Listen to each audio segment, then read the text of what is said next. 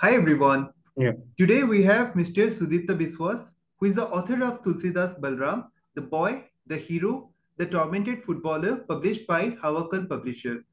I had the good fortune of meeting Mr. Biswas at the fifth edition of Ekamra Sports Literary Festival, where he was on the panel with former captain of Indian football team, Mr. Victor, Victor Amalraj, former footballer and Dhyan Chand awardee, Mr. Shabbir Ali, and the program was moderated by senior journalist G. Rajaraman.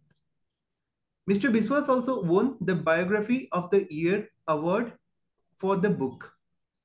In that session, Mr. Biswas shared many valuable insights on the legendary footballer, his influence on Indian football, and his legacy. But this interview is not about the book or the legend. In the biography, Mr. Biswas described the legendary footballer uh, Tulsidas Balaram's journey in three stages.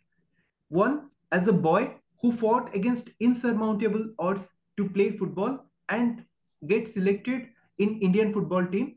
Second stage, as a hero who not only was uh, selected in Olympics game, but also won the gold medal at the 1962 Asian Games for Indian cricket, uh, for the Indian football team, and as a tormented footballer. Likewise, this interview is about the author, Sudipta Biswas, the boy, the journalist, and the biographer. So let's hear more from him. Good afternoon, Mr. Biswas. Welcome to this interview. I'm so thankful that you agreed to be a part of this interview. Now, please tell a bit about your journey and your entry into sports journalism. We would want you to know as a boy and as a journalist who wrote this wonderful book. Hello, Saurav. Uh, thank you very much for inviting me on this platform. So yeah, uh, so my journey, uh, so the it was all about uh, my passion about uh, my passion to become a journalist. So with that, it, this journey had begun. So it began when I was just finishing my uh, 12th. So at that time, I was planning uh, so what I should choose as my career. So then I uh, choose journalism, and uh, that's how uh, I started my journey in journalism. Uh, I had studied journalism. I mean, I pursued graduation at uh, the college in Kolkata. It's called Pirati Minali Datta Mahavidyapit. So there I completed my graduation. After that, I uh, went for a PG diploma course at IIMC, Indian Institute of Mass Communication. So, so I, I went to IIMC Aizawl Center. So it is now known as IIMC Northeast. So uh, it's in, I mean, in, in the hill of Mizoram. So there, when I went, uh, I saw that people in Mizoram are crazy about football. So I got my first exposure. I got to know, uh, and I got to see football. I got to cover football, even though I was starting there, and it was very easy. It was not that difficult. Like uh, you have to pass through all the securities, all the formalities uh, to cover a game uh, in a in a cosmopolitan city. But in Mizoram, it's a, uh, I mean, very easy to go to the match and watch everything. Even training, you can watch regularly you can cover matches if even if you wish to and uh, there uh, I, I i can still remember vividly that i was watching a i don't know which match but maybe Dr. T. Ao trophy Dr. T. Ao trophy uh, it was named after india's first uh, football team captain Dr. T. Ao so he used to play for Mohun Bagan and he also captained the Indian team at the 1948 Olympics. So that was the tournament dedicated to the northeastern teams, state teams. So I saw the craze. So that's how my passion for football began. Even though I was earlier when I was young, so I was just following East Bengal Mohun Bagan as people in Kolkata do, or say people in West Bengal do. So that's how my passion grew. And I, uh, regarding my subject, Tulsidas Balaram, I, I had heard a lot about him that he was a legend. He played along with two other legendary Indian footballers, Chuni Goswami and P.K. Banerjee. But when I was writing this book, uh, my initial plan was not writing about Tulsidas Balaram. Uh, I was I was in Hyderabad at that time, so my plan was to write a book on Hyderabadi footballers, the forgotten uh, footballers, but the forgotten football culture of uh, Hyderabad. So there are a lot of good stories to write about Hyderabad football. Still, some of the fascinating things are uh, there. You so many people can explore. Whoever interested. Even I don't. I'm not sure. Even in future, if, if I am interested, I can explore those things. So actually, Hyderabad is full of uh, uh, sports culture. Uh, it's not only about football. Football has died, but then there are other sports to explore. But the point is that uh, when I was interacting with so many footballers, and then I came across a chance when I could interact with Tulsidas Balaram. And Tulsidas Balaram suddenly opened up to me, unexpected. That was unexpected moment for me. Then he opened up to me. Gradually, we uh, talked we discussed on the subject a lot of times. That's how we started.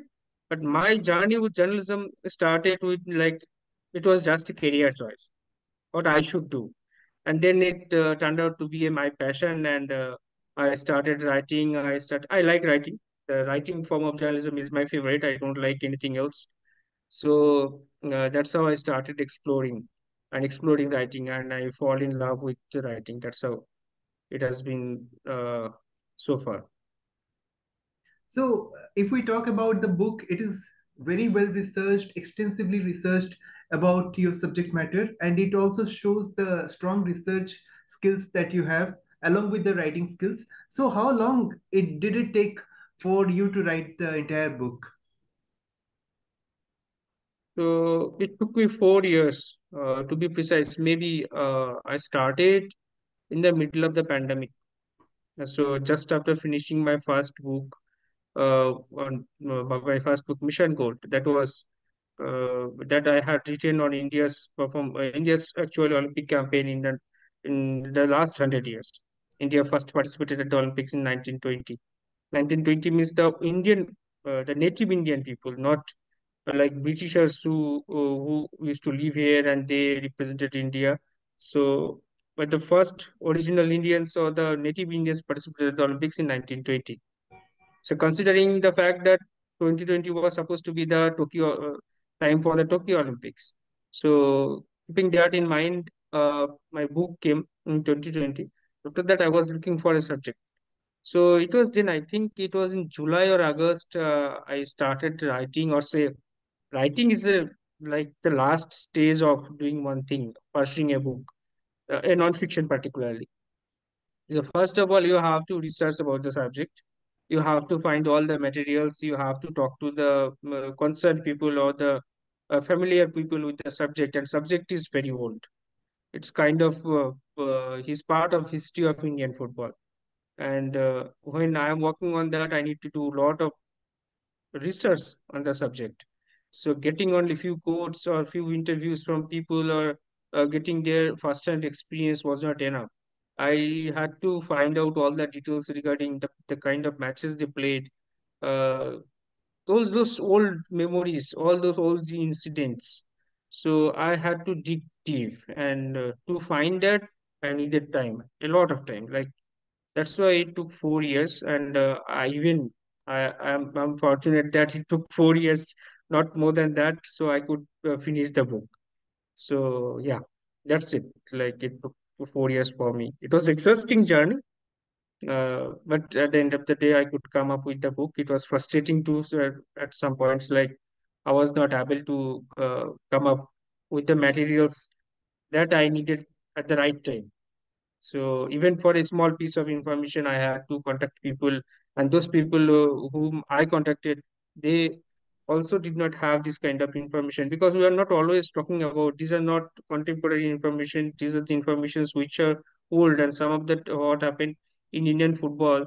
The difficult part is that you will not find the uh, details. I mean, if you want to research on a particular subject, uh, you will not find the details easily. So as you can in Indian cricket or say or in other sports, but it is not possible in Indian football. And also there are a lot of uh, things which are, uh, I should say, like if, if you cross check, then only you find that those things are wrong.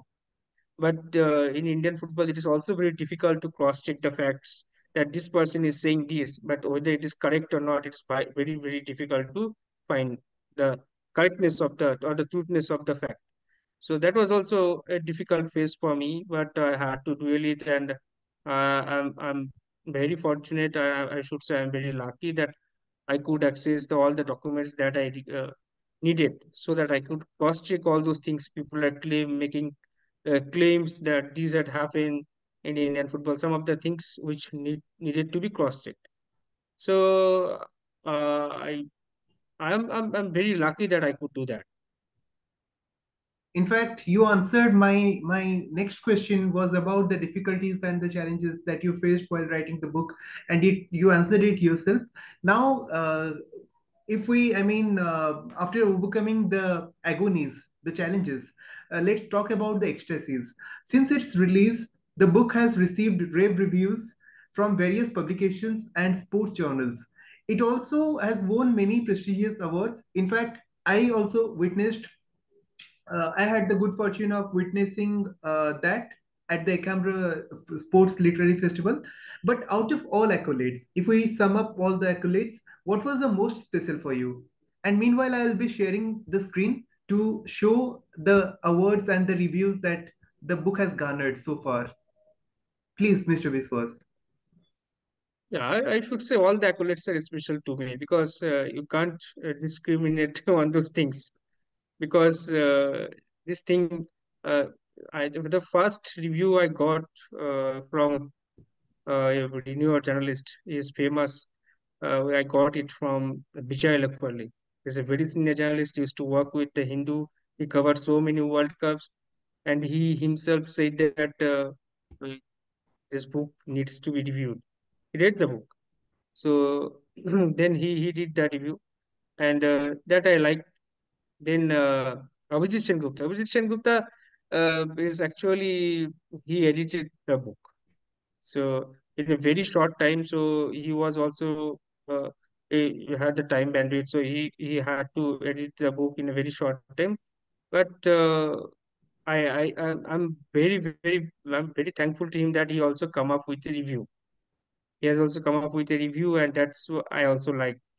And it's also I can't discriminate on, on all those things. Like he has done one review, then there is another person, uh, Shubhroda. So he is also a journalist based in Kolkata. He has also done a review in Bengali. So and of course the accolades uh, I received from people. So these are oral uh, uh, appreciation of the book. Many people say many things, but first of all, among all these things, I should I'm very thankful to my publisher. They always uh, say good things about the books, and they have made some predictions about the books about what is going to happen in future or I should expect in future, not in uh, in a, a very short time, but in a long term. In long term, like uh, 20 years, 30 years. I'm just saying for the sake of saying, just as they say it, as you have asked me. So, but I can't discriminate on all these things, like uh, which appreciation I like the most. All the appreciation matters because the book is not about uh, one uh, one person's review or two persons review. It matters a lot, like if all the persons are review and giving uh, feedbacks, whether it is positive, negative, or criticism or praise. It doesn't matter. And And uh, of course, like uh, and the, going to the Ekamra Sports Literature Festival and uh, uh, getting a chance to share the dais with uh, Shabbir Ali and Victor Amaldas, two legendary footballers.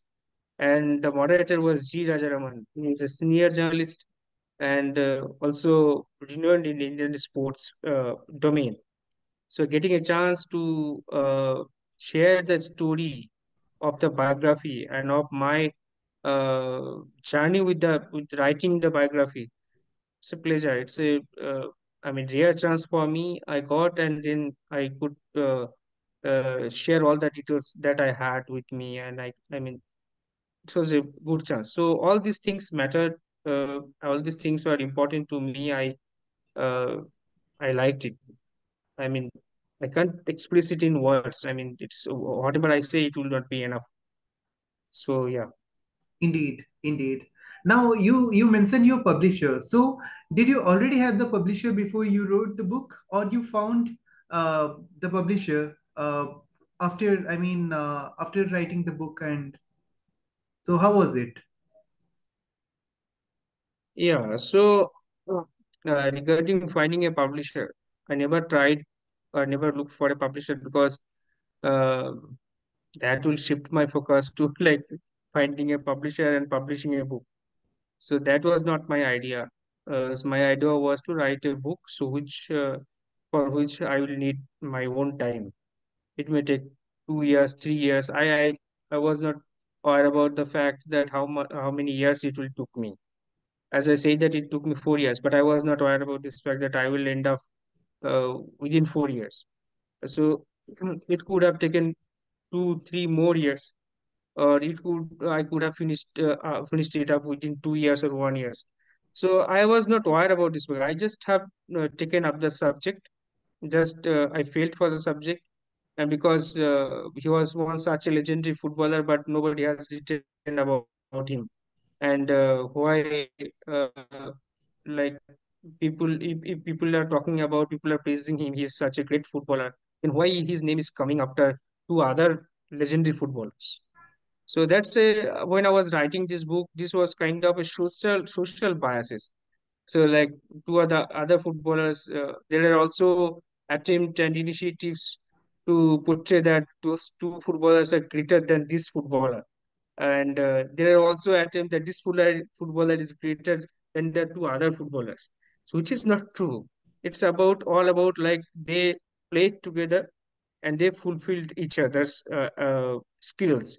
They have their own uh, weakness also. So when they play together in a team sport, so when you play together, then you become each other's. Uh, I mean, each other's in each other's. Uh, in whatever you do, you complete each other. So you can't say that he is greater than this player and uh, that player is greater than Balaram. You can't say that.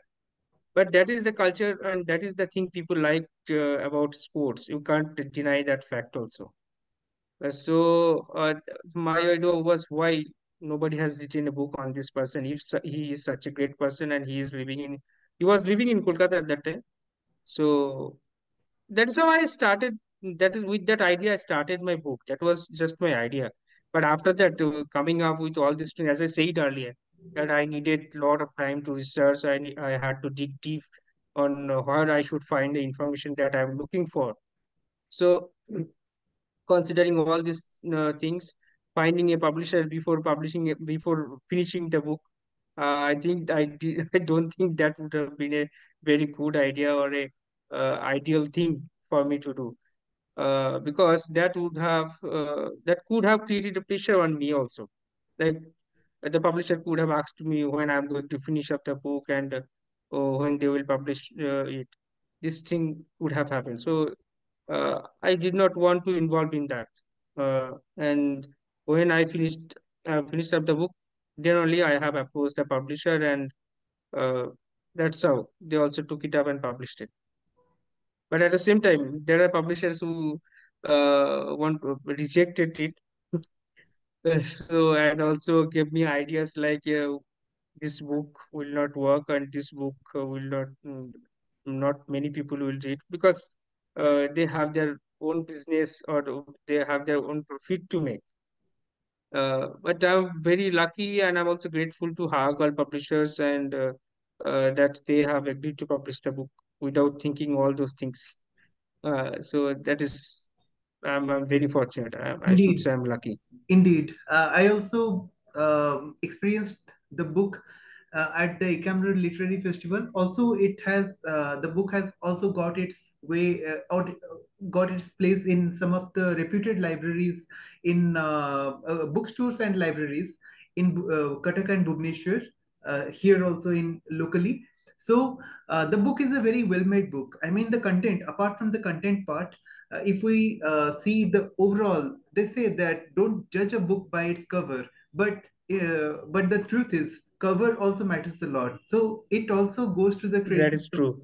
It's true. So uh, uh, the credit also goes to the publishers, the layout and everything that the binding, starting from the binding to the everything, it comes with a package, and the book is a complete package. So how has the has the life changed uh, after that, uh, post release of the book? The life has not changed much. Right now, I'm living uh, at my village, so which is like around 70 kilometers from Kolkata. So I like living in my village only.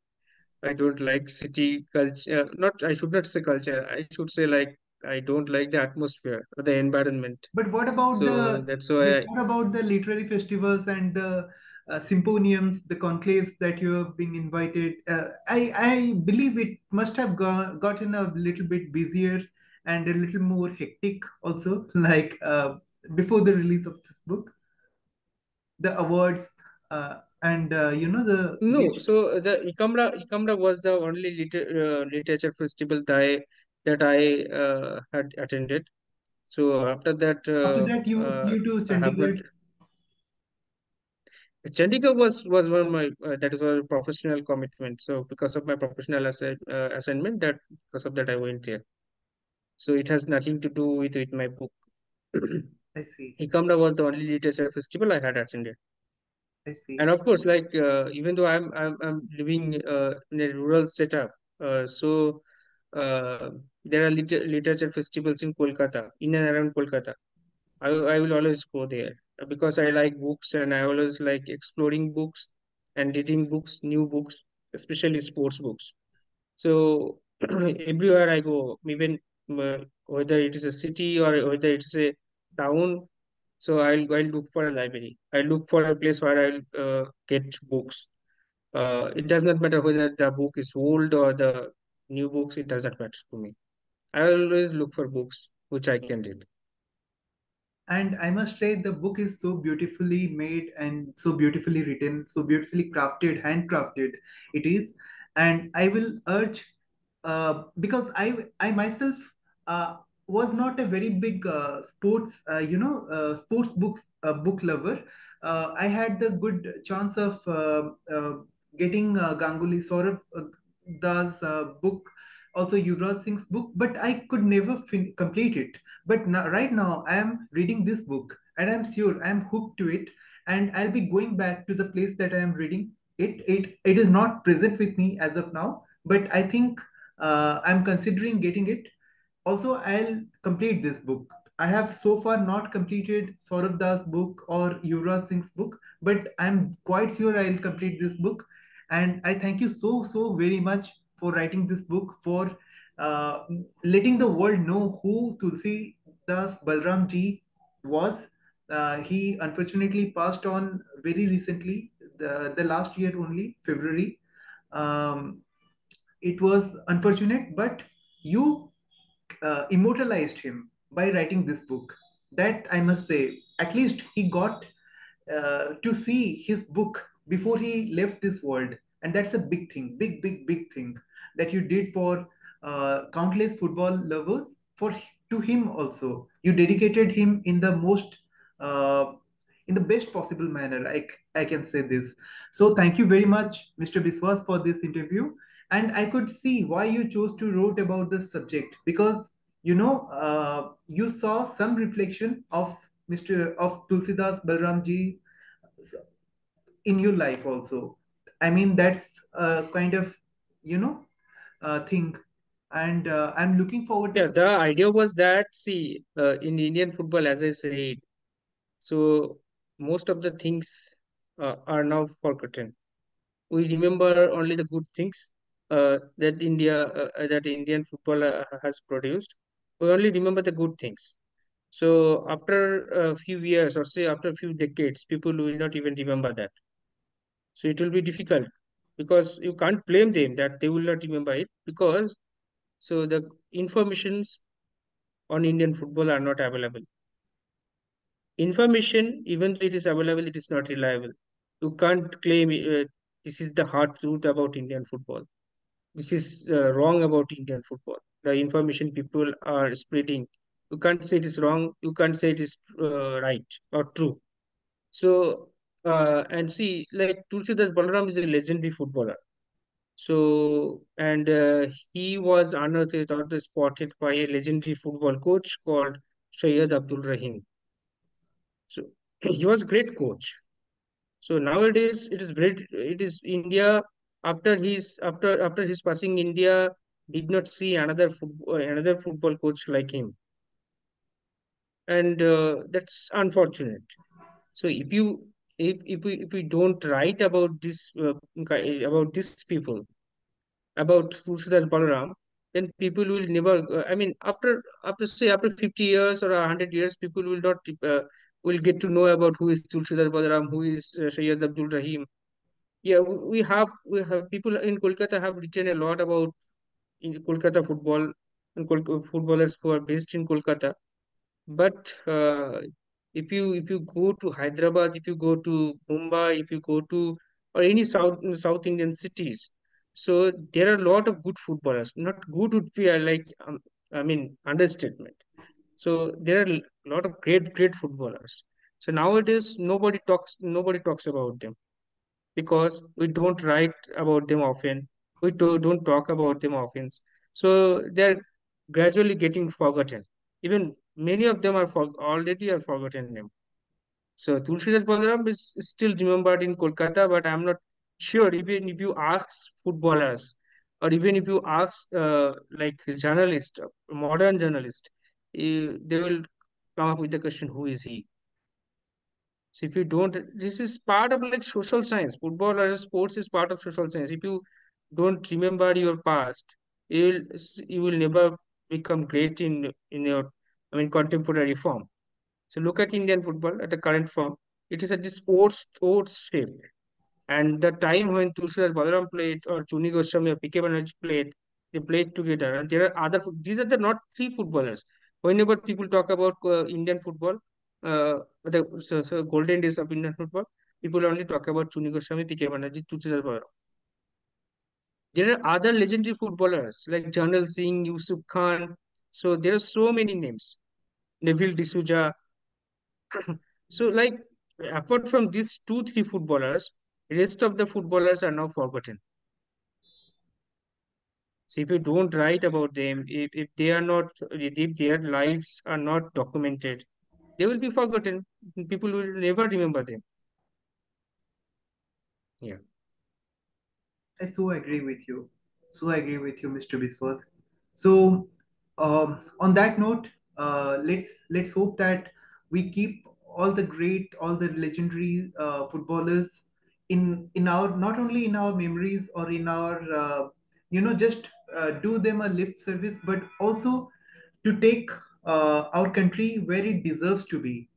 A, a, a nation of 1.4 billion population and we only have a handful of names in when it comes to sports so the idea is of writing this uh, biography or you know uh, co-writing uh, the memoir of some uh, sporting legends should not be only to confine it as a just as uh, their accounts but also to take our country where i mean the glory days it has seen and also uh, what the youth what the younger population can aspire to be from the from their uh, ancestors like from the legends they can take a leaf uh, out of their uh, lesson and uh, can aspire to be like that so on that note we conclude this interview mr viswas thank you so very much Thank you. for being a part of this thank you so very much